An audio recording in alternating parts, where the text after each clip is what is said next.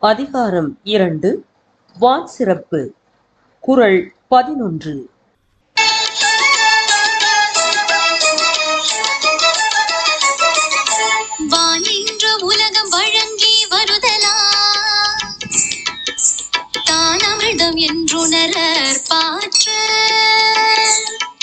மானுடம் பிழைக்க மண்ணுயிர் தழைக்க மண்ணில் விழும் மழைத்துளியெல்லாம் அமிழ்தம் என்றார் வள்ளுவனார். சுவை மிகுந்தவற்றை உண்ணுகிற போது ஆஹா தேவாமிர்தம் போல் இருக்கிறது என்போம். மழை நீரும் அத்தகைய சுவை மிகுந்தது மிகவும் சுத்தமானது பிராணசக்தி நிறைந்தது.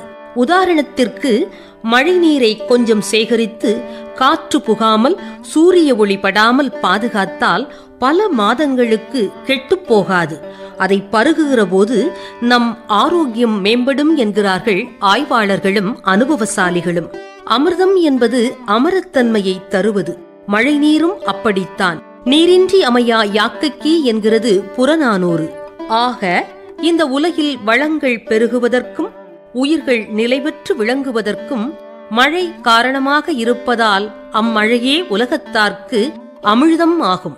அதாவது நீண்ட ஆயுளை பெறுவதற்கு அமிழ்தம் உதவுவது போல இடையராது தோன்றும் உயிர்களின் நிலைத்த தன்மைக்கும் வளர்ச்சிக்கும் மழை நீர் முக்கியமானதாகும் என்றுரைக்கிறார் பொய்யாமொழியார். வானின்று உலகம் வழங்கி வருதலால் தானமிழ்தம் என்றுணர் பாற்று.